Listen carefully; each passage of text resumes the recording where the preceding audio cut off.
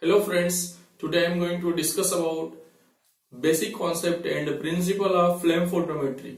Why we are using flame photometry? Because flame photometry can be used for determine various elements like lithium, calcium, potassium, magnesium, sodium, barium, etc. So this method is just like atomic absorption spectroscopy but difference is that here no radiation source is used.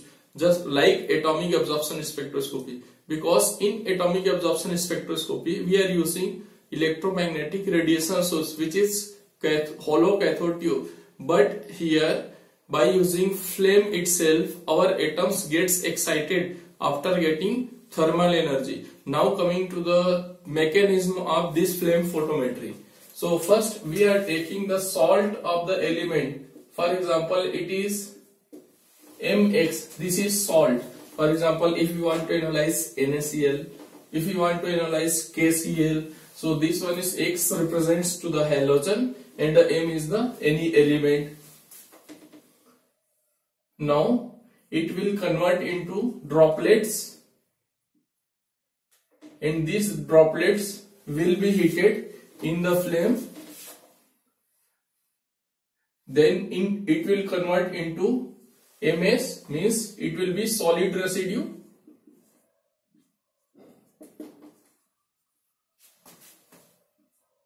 After conversion into solid residue it will convert into gas ms vapor vaporized form. Okay? Then this vaporized form will again convert into M and X. It will be in gaseous form. Gas. Here dissociation takes place. This is atom.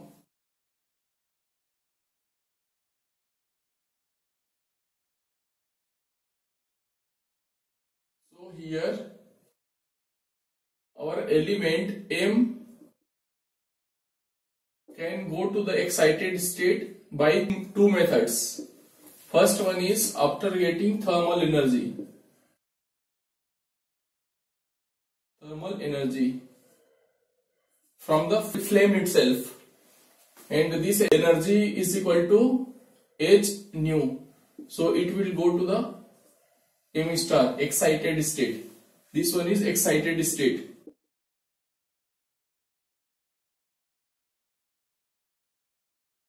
and uh, from here it can get electromagnetic radiation. And here also energy will be h nu. It will go to the excited state m star.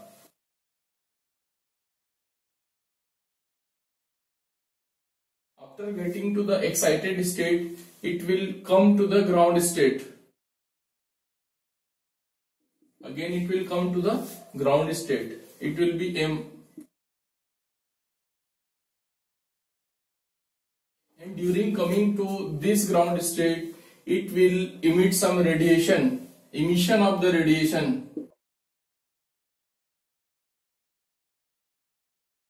And this emission of the radiation is our area of interest in flame photometry. Because this emitted radiation is measured in flame photometry and this method is known as flame photometry. It is also known as atomic emission spectroscopy.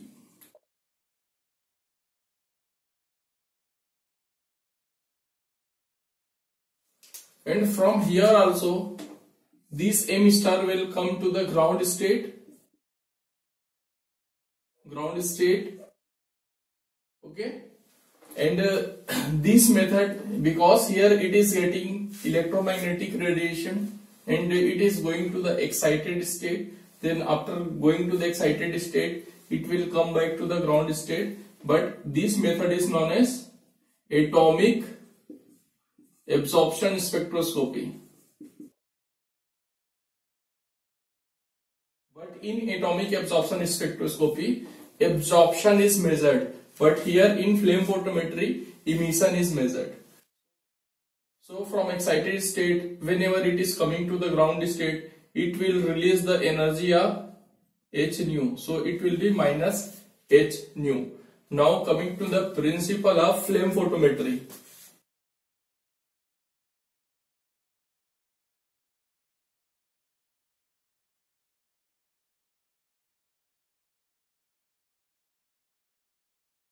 Sample is, is sprayed into the flame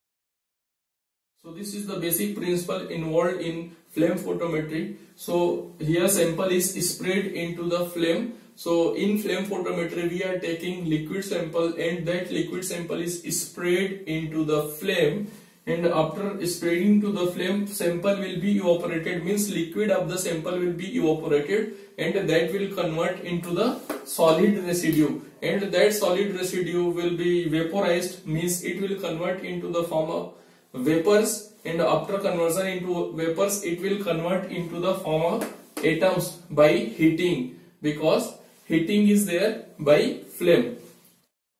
From that atom some atoms are getting thermal energy and that is going to the excited state. After getting the energy it will go to the higher level of energy that is excited state. And these excited atoms coming down to the ground state after getting thermal energy atoms will go to the excited state. And after going to the excited state it will come back to the ground state. And up, during coming back to the ground state the atoms will emit some some radiation. And when it is emitting some radiation that emitted radiation is measured in flame photometry.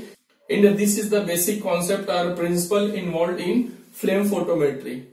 Now coming to the energy levels if we are taking example of two energy levels for example this one is E1 and this one is E2 if we are taking our element here then it will get some energy and it will go to the excited state which is E2 here it is getting energy E is equal to h nu. Then after that it will come back to the ground state E2 to E1. And here also energy is equal to be minus h nu. And this is the emission of the radiation. If we want to calculate the energy difference between both these points means from excited state to ground state then it will be E2 minus E1 is equal to h nu. Here nu is equal to c by lambda. So E2 minus E1 is equal to h into c by lambda. If we want to calculate the wavelength for uh, this condition then it will be lambda is equal to h into c upon E2 minus E1. Lambda is equal to h into c upon E2 minus E1. So by using this formula we can calculate the wavelength of our compound. So here H is Planck's constant and the value for Planck's constant is 6.626 into 10 to the power minus 27 erg second. And C is velocity of electromagnetic radiation. What is the value for C? It is 2. 998 into 10 to the power 10 centimeter per second. So these are the constants. So by using this formula we can calculate the lambda max for our compound, our selected element.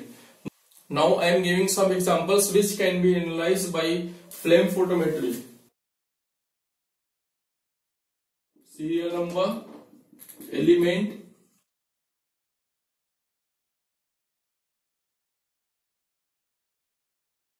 color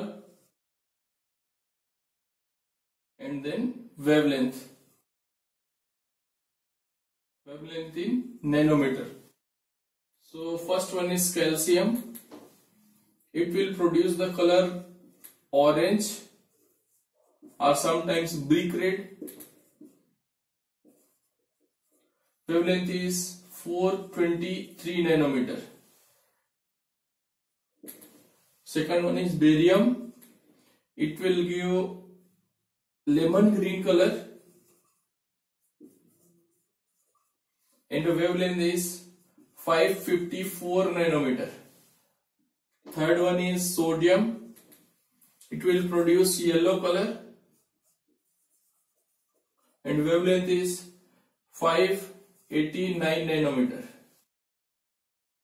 Fourth one is potassium. It will produce violet color. And the wavelength is 767 nanometer. So these are some examples which can be analyzed by flame photometry. And the color of the flames are identical because every element is showing different color at different wavelengths. Color is identical for the elements as well as wavelength is also identical for the elements so by selecting this wavelength, we can adjust our slit for determination of specified elements by using flame photometry. So this is the overview about uh, mechanism, principle and some examples of flame photometry. Thank you.